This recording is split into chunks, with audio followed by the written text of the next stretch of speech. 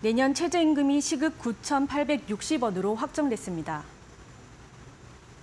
고용노동부는 2024년도 최저임금이 이처럼 결정됐다고 밝혔습니다.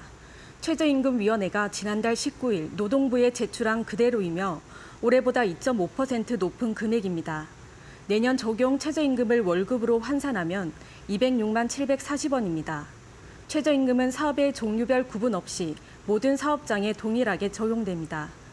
노동부는 내년도 최저임금을 적극적으로 홍보하고 최저임금 준수율을 높일 방침입니다.